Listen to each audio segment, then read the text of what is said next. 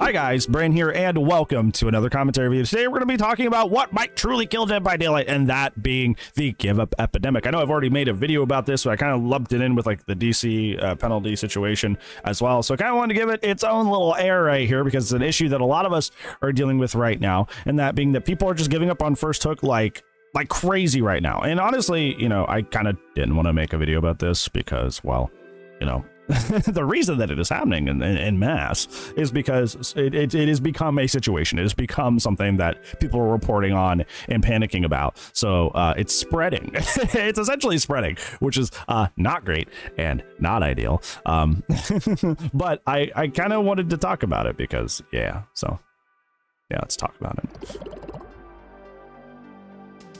First off, I want to issue an apology to Choi because I remember I reacted to a Choi video a while ago where Choi made the forecast that uh, Dead by Daylight might be going into the dark ages because of people giving up and having a give up epidemic, and I was uh, skeptical of uh, skeptical of that in the time that uh, that video came out, and I am wrong. My name is Brandon. I am wrong because like you were right. You forecasted that, and I will hold that L because man, whew, it's like it's really hard to get like a full game without somebody giving up on hook at some point. And honestly, like giving up on hook doesn't agitate me as a practice by itself because like if, you know, we're at four or five gens and somebody's already dead, like somebody's already sacrificed, like you're not going to win that game. like unless you're like the best survivors on the entire planet, like you're, you're not going to win that. That's just not going to happen. So if you give up on first hook when somebody's already sacrificed, like you do you, right? Like go next, go go enter a more a, game you actually have a stand a chance of winning. you know, um, that that makes sense to me. That tracks.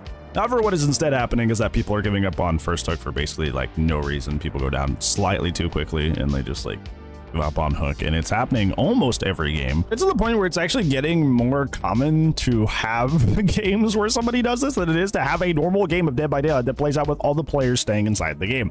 Uh, it's literally like every other game now that i'm dealing with this. The reason this is a really big problem is that a while ago uh, behavior introduced dc bots because Dead by Daylight used to have a very severe problem of when people would DC, when they would disconnect, doing it the the the, the normal way of just di disconnecting and giving up, uh, that would just result in a 3v1. that would just result in a 3v1 at like four or five gens.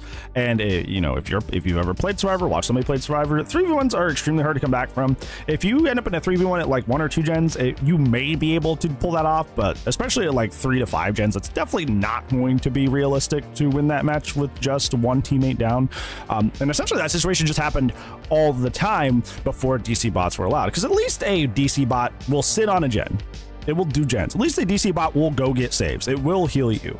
So it's better than nothing. I essentially treat it as like having like I essentially treat it like having three and a half teammates. They're like a half player, um, which is better than just having just the three players out of a four person team to have three and a half.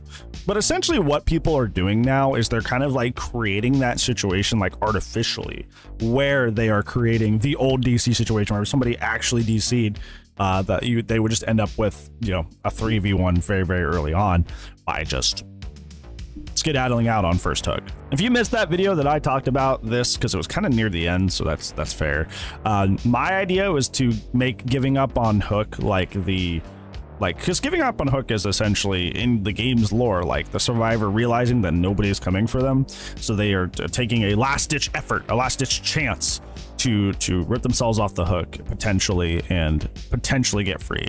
Um, there's a reason it's just four percent because it's not supposed to work, right? It's like realistically, it's not supposed to work, but thematically it makes sense because they they just you know instead of just you know hitting second stage, they're like, no, I will get myself off as like one last heroic uh, bound.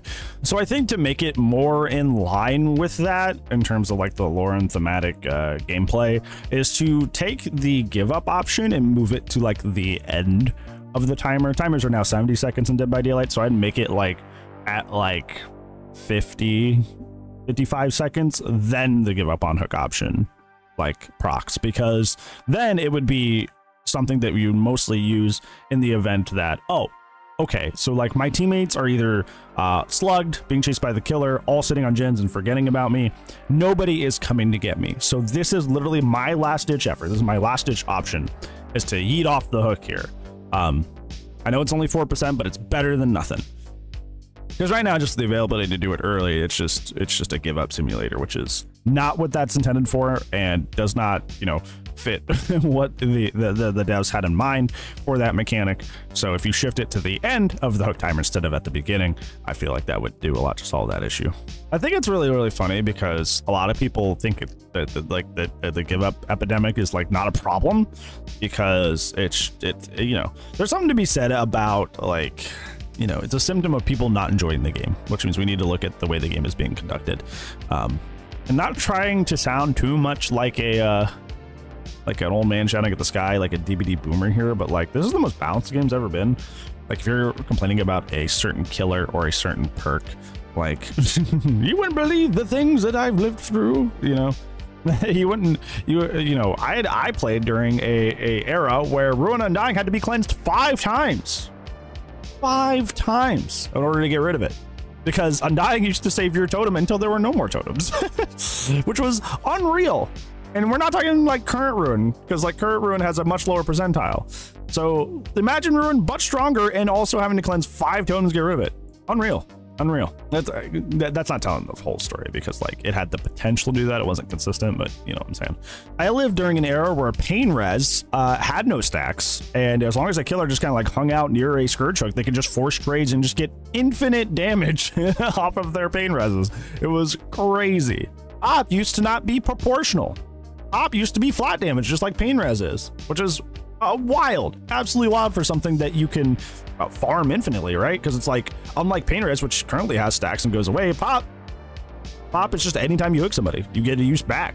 So something to like that to do flat damage instead of proportional damage, that's really good especially for high mobility killers. And if we look on the, the, the survivor side of things, like, you know, I, I as killer don't have to deal with BNP's instant completing gens. I don't have to deal with dead hard literally granting you invincibility and distance. I don't have to deal with DS not deactivating for like any reason. So people can literally greet a gen, DS me, get off, and then go finish the gen in my face. Like there's a lot of stuff that like used to be so awful and so nasty that's no longer in the game. Um, so uh, I don't know. It's just like a, it's a perspective I don't understand, right? Like I'm not saying things can't be fun, unfun in DBD because there's definitely stuff that's unfun in DBD, right? Um, plenty of things I don't enjoy about the game uh, that's still in the game, but I'm just saying from the perspective of like it's so bad now that I just gotta be quitting every game. It's like did you know Nurse used to blink seven times? did you know that? did you know that was a thing? I, I don't think I don't I don't know. I feel like the modern DBD player like would not last like a single game in old Dead by Daylight. Like they just like I I don't think we understand how good we have it in 2024. But once again, that's just like DBD boomer talk. So but yeah, I feel like in terms of Dead by Daylight, something that can actually seriously harm the game long term and potentially get the game to slowly die off over time. As if we literally cannot get a match. like we literally cannot get a full normal match of Dead by Daylight because people just are quitting in mass. So realistically, this is something that behavior should look at and try to adjust in some way. I gave my suggestion. Hopefully they go with that. But, you know, if you guys have any uh, uh, suggestions of your own that you think would uh, do uh, well at fixing this uh, give up epidemic, I would love to hear them down in the comments below. But I feel like that's it for today's video, friends. So I will see you in the next video. But if I do not, I will see you when I see you. Goodbye.